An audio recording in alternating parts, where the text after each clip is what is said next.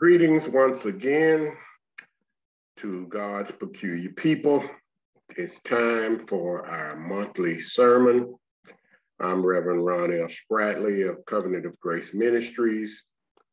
Today, we're going to continue uh, with our series on what we've been talking about.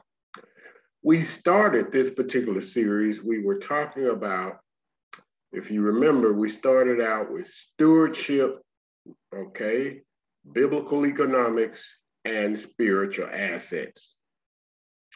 We've completed the portion on stewardship and biblical economics. And last time we concentrated on spiritual assets. We're going to continue to talk about spiritual assets today. All right. Last time I was up, in the monthly sermon, I talked about your primary spiritual assets that were received at salvation. This is what we have available to us at salvation. A lot of born again Christians do not know about these assets. That's why we're teaching on them to bring you up to speed so you'll know these things because of these difficult, difficult times that we're in, these perilous times. You can draw from and lean on and rely on these particular assets. All right, from our previous last sermon, we I'm going to do a quick review. We talked about the blood covenant, okay? The blood covenant is the contractual arrangement that brings us into union with Christ Jesus, Yeshua, our Savior, through the shedding of his blood on the cross, that we could come into covenant with God. We could be, all right, we could come into a reunion back with God, reconciliation back with God. So this covenant is the framework. Your faith need a framework to operate in. This blood covenant is the framework that you need. Remember when Abraham asked the Lord in the Old Testament, in the book of Genesis, he asked the Lord, How shall I know? How can I have confidence? How can I know? And that's when Yahweh cut a covenant with Abraham. All right. Within this covenant, we have escrow blessings for time and eternity. Remember, this escrow is something that is held in an account, all right, until certain conditions are met. All right. We told you that Yeshua or Christ is the custodian or the agent over these escrow blessings. He releases these escrow blessings when you meet certain conditions of the covenant. When they are met in time and in eternity, these blessings can be released to you. Okay? The third thing we talked about last time was election. We told you you are a peculiar people. You've been selected. You've been chosen by God to be part of the royal family. All right? You've been adopted, you've been elected by God to be part of his family. This is good stuff. All right? You got to become elected to come into the family. Now, the family functions off of an honor code. This honor code requires us to live holy. Yes, holiness is very, very important. Holiness is God's way of living. If you've been elected, you're part of the priesthood. He called us a holy nation. All right, these are the three spiritual assets we covered the last time we were up. Now, let me recap something. The reason these spiritual assets are so important, you need to understand assets help you solve problems. Assets are a resource that helps you solve problems. Okay? So this is really, really important because life is filled with problems and you need a way, or you need the resources, or you need the source and the resources in order to deal with the problems that we face in life so your needs can be met. That's why we're teaching on these spiritual assets, so you can understand how relevant they are in the times that we're in. Now let's continue.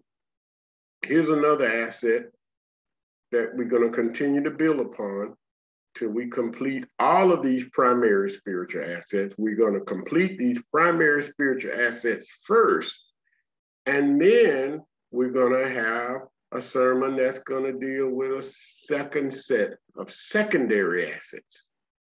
All right, but today we're going to finish the primary assets. Okay, number two, when you're in the kingdom of God, once you've been elected, you're in covenant, you have equal privileges and equal opportunity. Okay? Equal privilege and equal opportunity. Okay? People talk about, in the world, we talk about we have equal opportunity commissions and all of these things, but I want to talk about equal privilege and equal opportunity in the kingdom of God. We start with scripture, Romans 3 and 11, for there is no respect of persons with God. Please get a hold of that. For there is no respect of person with God. So you see the connection, equal opportunity, equal privilege. All right. All of his children have equal opportunity and equal privilege to advance. Okay, we're talking about after you've been elected, you have equal opportunity and equal privilege because there's no respect of person. Now, let's look at Acts 10 and 34 because we build in doctrine around this particular point. So when we build doctrine, we're going to use more than one scripture. All right, in Acts 10 and 34, then Peter opened his mouth and said of a truth, I perceive that God is no respecter of persons. You see, we're building on this doctrine, all right? Let's talk about this one.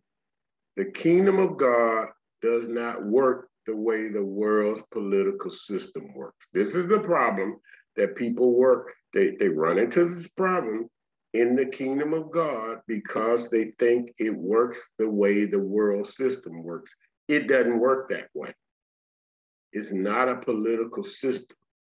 There is no politics, all right? Not the politics that you're used to in the world. It doesn't exist in the kingdom. But people come into the kingdom wanting to play politics. Here's how the kingdom works you must believe on Christ for the forgiveness of your sin. That is the first step. The sin debt is paid with the blood of Christ. You can't make a political contribution and buy your way in. You must have faith in the shed blood of Christ. That's why it's referred to as a blood covenant, which we covered. It is through that shed blood that you are redeemed. All right, with uh, your money, your silver, and your gold means nothing in the kingdom of heaven. You were redeemed. and reconciled to Yahweh through the shed blood of Yeshua. All right? That's how the kingdom functions. Okay, so once you place your faith in this shed blood of Yeshua, you need to advance. And we're going to talk about this today. You need to advance in the plan that God has set up for you. So many of my brothers and sisters don't want to learn about the plan, don't want to advance in the plan, but we're going to be talking about the things we should be doing as part of the kingdom, being children of the Most High. All right, so point number three for today since we have this equal privilege and equal opportunity, we want to advance. So we want to understand additional concepts, additional assets, additional resources that we have to help us solve life's problems, to deal with life. So, number three, we want to talk about predestination and when we bring up predestination, we want to talk about foreknowledge. There's so much confusion around these topics, and they're often they're not taught correctly. So we want to deal with number three today, predestination and foreknowledge. And we're going to deal with these, my brothers and sisters, together. All right, let's start with Ephesians 1 and 5. Having predestinated us right? Okay, having predestinated us, having predetermined us to the adoption of children. So we're, we're adopted, the adoption of children that brings us into the kingdom of God. We're part of God's family. We place our faith in Christ. So uh, the adoption of children by Jesus Christ to himself. All right. It was it was the adoption of children to himself. All right. How did it happen? Through Christ. That's the process of reconciliation. You cannot come to God unless you come through Christ. Got it? To himself according to the good pleasure of his will. This is God's sovereign will. He wanted to adopt us as children. He predetermined that. All right. He predestined that. All right. Before time ever existed. And we're going to talk about some attributes of God with him being omniscient. God has never learned anything new. So you, you got to understand that attribute of God. He already knows everything. He's not he's not constrained by time. He's active in time, but he transcends time. Therefore, he has some attributes that humans don't understand. He knows everything before it even happens. All right? He predestined us to be part of his family, to be his children, according to the good pleasure of his will, his sovereign will. Now, like I said, some of these we're going to build on doctrine on these concepts. So we're going to do more than one scripture to help everybody understand these concepts. We're going to go to Romans 8 and 29. For whom he did foreknow. Oh. Okay, we got two important concepts here I want you to understand. The first one we, we talked about having predestinated. This one we're talking about foreknowledge. So we're dealing with both of these concepts together. We're dealing with predestination and foreknowledge. All right, let's go further. For whom he did foreknow, he also did predestinate to be conformed to the image of his son, that he might be the firstborn among many brethren. Now, God predetermined, let's break predestination and foreknowledge. Let's talk about these two scriptures and then we're going to go into some more detail.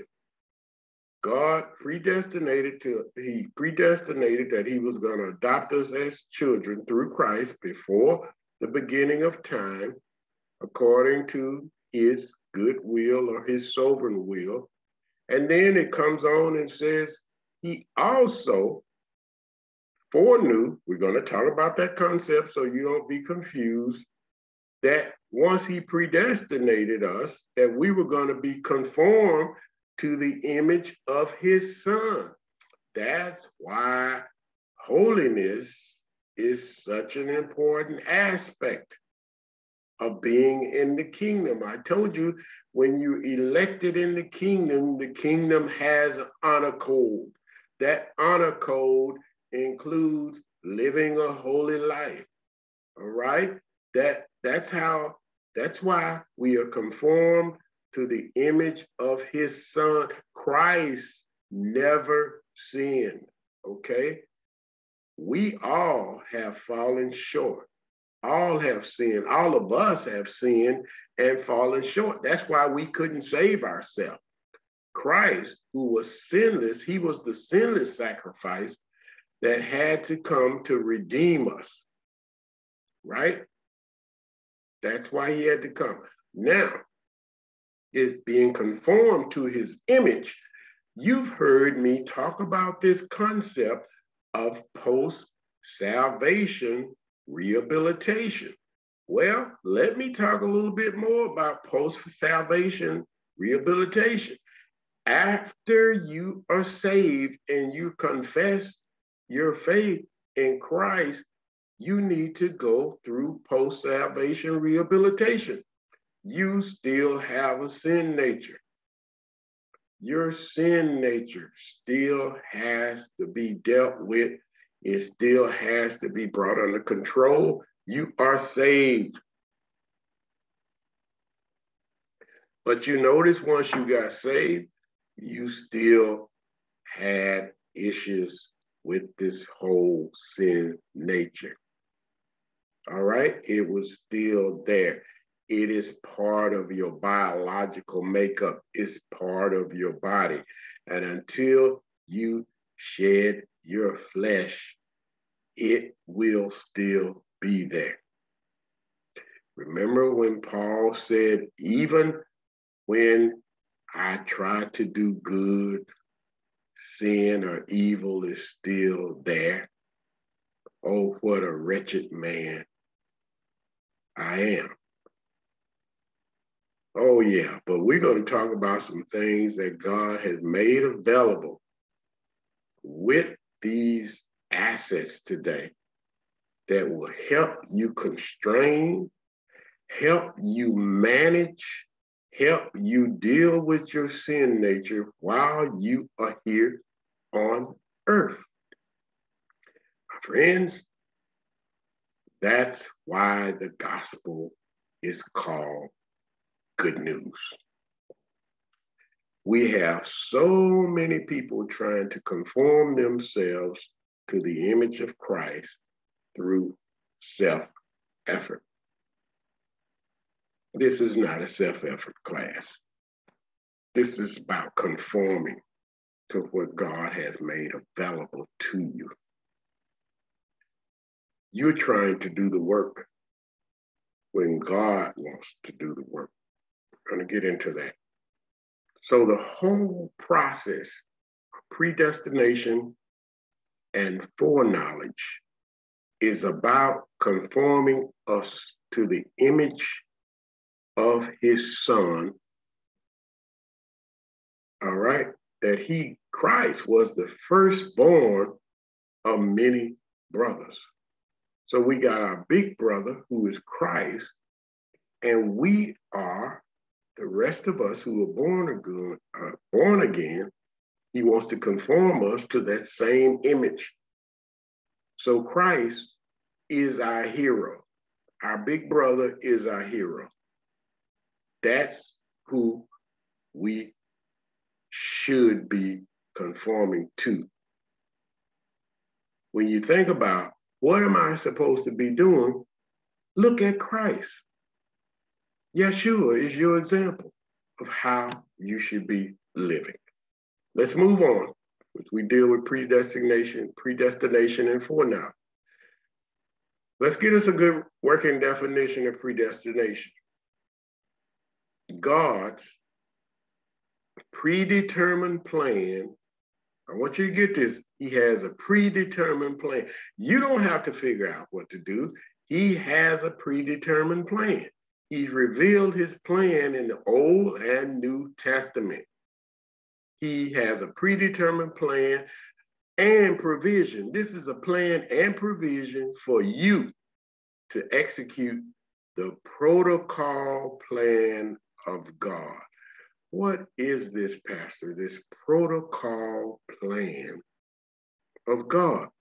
Protocol has to do with a system of requirements. Some people call it a system of rules, but the protocol plan is a system, all right, which reveals to you what to know, all right, what to know, how much to know, and how to apply it.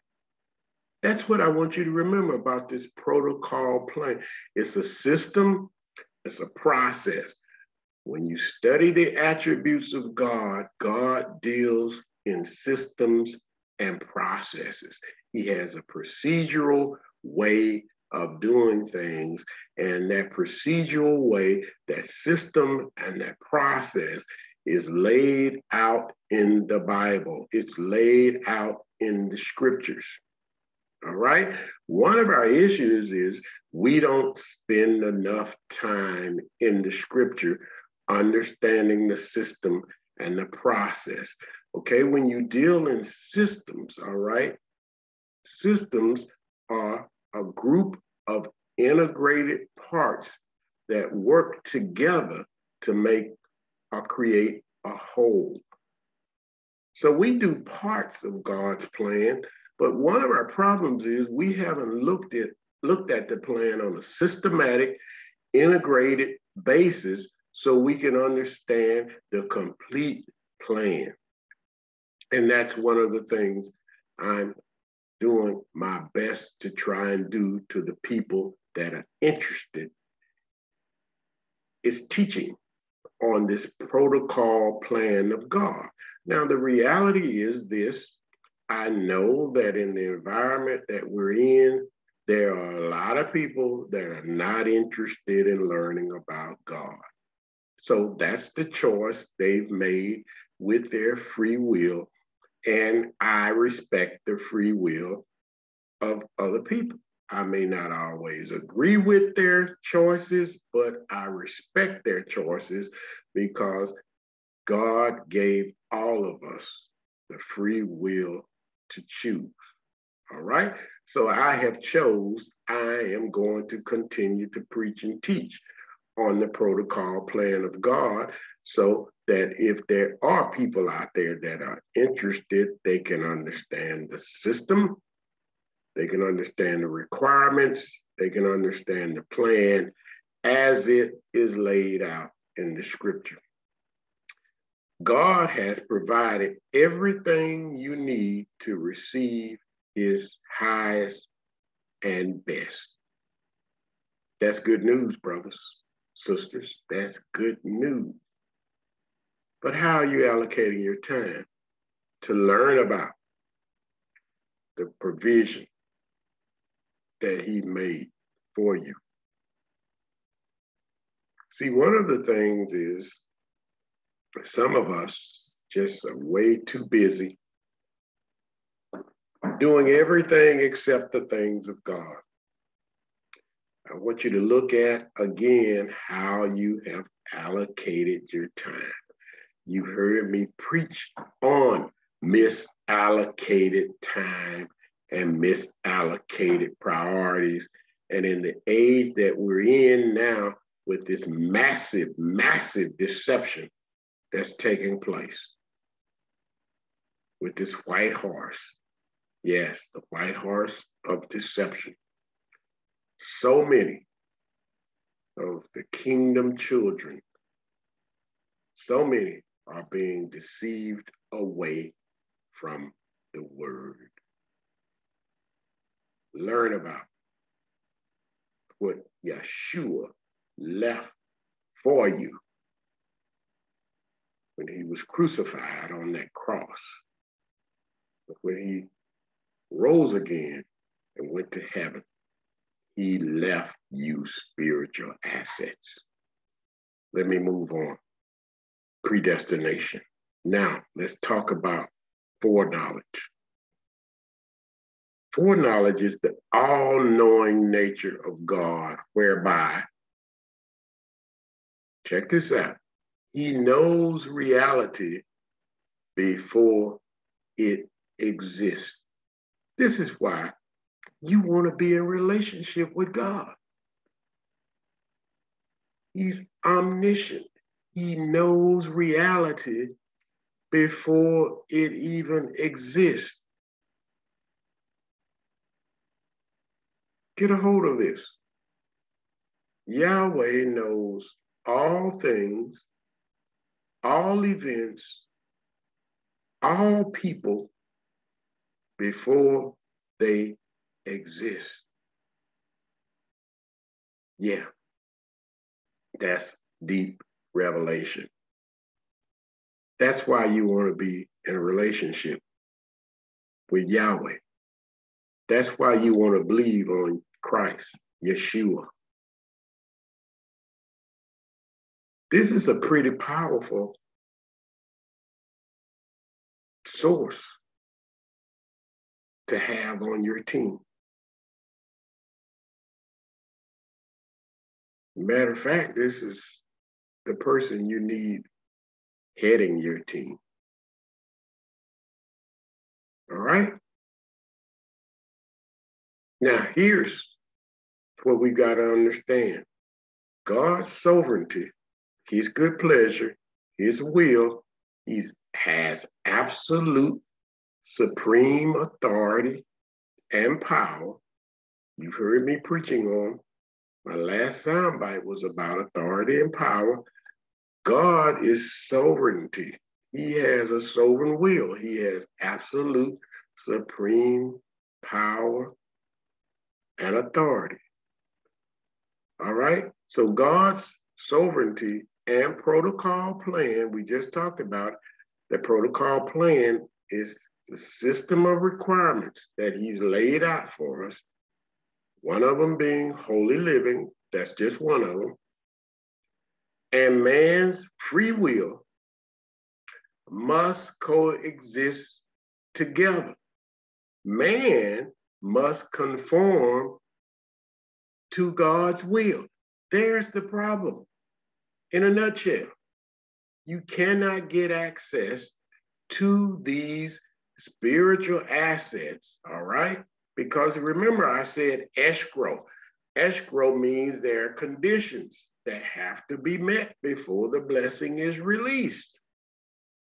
One of those conditions, you have a free will but your free will, if you're going to function in the kingdom of God, your free will must conform to God's sovereign will. Got it? This is a circuit breaker. Remember Christ when he was about to go to the cross, he prayed to the Father and he asked, Can this cup pass from me? In other words, do I have to go to this cross? And and he got an answer because he said after he asked that question, I know he got an answer because he said, Nevertheless, nevertheless, Father, not my will, but your will be done. He conformed to the will of the Father. In, the, in our prayers, we said, what do we say? What do we constantly pray about? Do we mean it? We got to ask ourselves, Thy, what do we pray? Thy kingdom come, thy will be done. Conformance to the kingdom way. Conformance to the Father's way. The problem we have today, everybody wants to do their own thing. Okay, let me move on. So we've talked about predestination and foreknowledge. We've talked about equal privilege and opportunity. And now I want to introduce the divine power system. Christ, when he walked the earth, Christ functioned in the divine power system. How did he do all the things that he did? He was able to do these things because he understood the divine power system that was available to him as an asset. And he utilized it. You can have assets that you don't even know about. These are invisible assets. Invisible assets manage physical assets. We're so busy looking at, and physical assets are important. These are the assets that God gave us, all right, that we look around and we can visibly see what He created the land, the ocean, the trees, okay, the oil, the gas, the minerals. We can see all of those things, all right? Those are creative assets or natural resources that we can see. But the assets I'm talking about today are invisible. These invisible assets are in your soul, they're in your spirit. So Christ knew how to tap in to this divine power system to use the resources, even though they were invisible, because they're spiritual, that God provided to him within the plan to function while he was on the earth. So let's talk about this. Second Peter 1 and 3. According to his divine power, you're going to hear me talking a lot about this concept of divine power. According, all right, as his divine power has given to us, had given, past tense, had given to us all things that pertain unto what? Life. He's given us all things that pertain unto life and godliness. He has given us all these things. But some of us are too slowful to even sit down and study these things so you can understand them. Remember, in the plan, the protocol plan, I talked about what to know. I talked about how much to know. I talked about how to apply what we know. That's why we can't Get into the plan, study to show yourself approved. Now, some of you say, well, I, I, when I read it, I can't understand it. Well, that's why Pastor Williams and I are here preaching every day. Come to the site. This is a way you can study also. Get help. All things that pertain to life and godliness, how? Through the knowledge of him that has called us to what? Glory and virtue. Remember, we talked about election. On the election, you were called. On the election, you were chosen. You were called to what? You were called to that honor code. All right. How do we get understanding? He's telling us through the knowledge. I got to learn about Yeshua. I got to learn about Yahweh. How do I do that? By getting in a teaching ministry. Somebody's going to teach you and not play on your emotions. They're going to teach you the truth. That's what you got to have. Now, let's talk about this divine power. This divine power, this is how it functions. Your willingness to use God's ability. Yeah, you remember the song, the song, remember the song? He's able. God is able.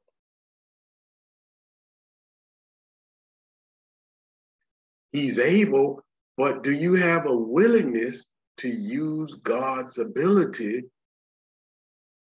or are you still out here trying to function on your own self effort? That's why you can't come into his rest. What did he tell us? Come unto me, all that labor and are heavy laden, and I will give you rest.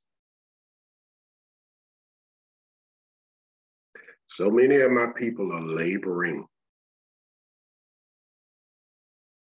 So many of my people have a heavy burden on them. I want to share the divine power system with you. Your effort is based around learning about God's protocol, plan, and system. That's your job to learn about his way of doing things. All right? So it's your willingness to use God's ability supplied to you by the Holy Spirit.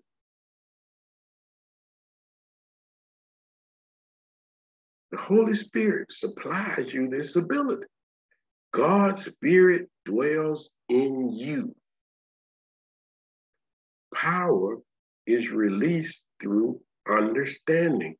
In all thy getting, get understanding.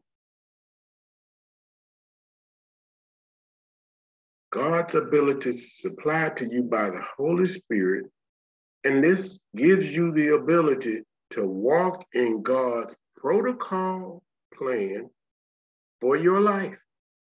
God has a predetermined plan for you. So many Christians are not walking in the plan. Yeah, you're born again, and you might be attending church services, but are you walking in the plan? Do you know the plan? You can't walk in what you don't know.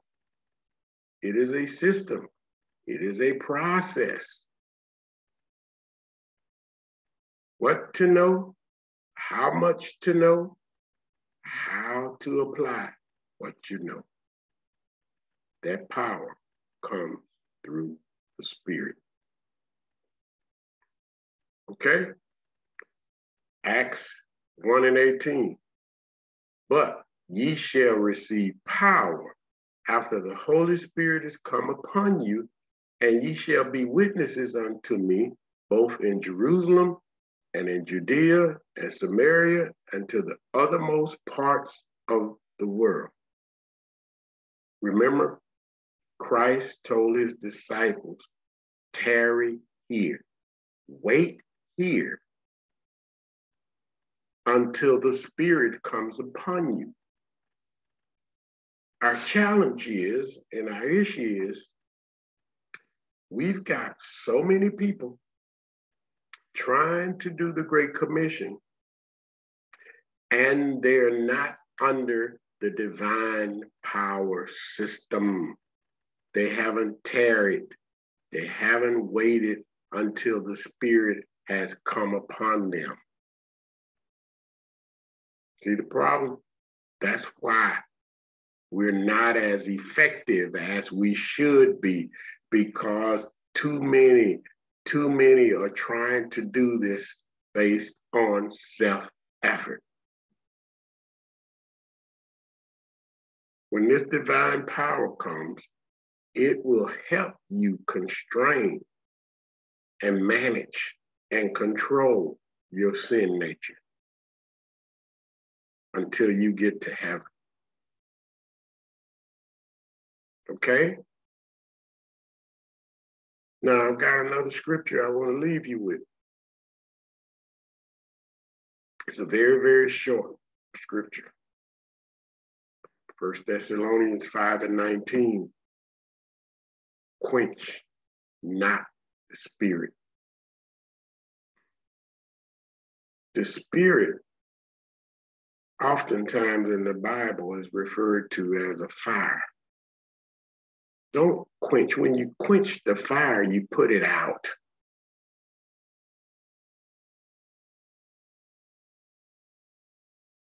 So we can, because we have a free will. Let me break something down to you. You can resist the spirit. Not a good thing, because when you resist the spirit, you're shutting down divine power. All right? You can grieve the Spirit. When you grieve the Spirit, you're shutting down divine power. And when you quench the Spirit, you completely, like a circuit breaker, you completely shut the power off. How do I do that, Pastor? Because of stubbornness with my own free will, wanting to do things my way instead of conforming to God's way of doing things. Let's wrap up. Let's wrap up, church. We're going to recap these primary assets received at salvation. A, the blood covenant. B, escrow blessings for time and eternity. C, election. D, equal privilege and equal opportunity, what we just covered today. e, predestination and foreknowledge. And finally, divine power. These are the primary assets that we have available to us that we receive at salvation. I wanted to cover these because these are foundational. And next, we're going to be moving to the secondary assets that we can put to work when we mature as Christians. If you've been blessed by this message and would like to donate to the ministry, please feel free to plant a seed via Cash App, Dallas, COG, Tennessee, 123. Or you can mail us at 1705 Ghost Creek Drive, Collierville, Tennessee, 38017. We'd like you to subscribe to our channel. A lot of our listeners, almost half of our listeners, have not subscribed to the channel. Please subscribe to the channel So whenever we post something, we will notify you. You'll get a notification. In these times we live in right now, when God has a word that he wants to get to you, you need to make sure that you get a hold of it and you're being not being bombarded by all of this stuff that the world is putting out. The world is putting out a lot of deception. You need the truth. And finally, I, I want to thank all of the people who have continued to support us. We appreciate what you do. When you support us, you are obeying what Christ has commanded. He has commanded that you support those who preach the gospel truth. All right? Through that, you will be blessed. We want to get the blessing on you. So we send the word of God out to you. So through your support, you're ensuring that this channel continues to function and we continue to preach the gospel. Again, I want to thank Pastor Williams for the fantastic and wonderful job that he's been doing. I'm so excited about what he's doing and us as a team, both of us working together as a team. All right. I'm going to close out now. God bless you. We have a chance to come to you once again.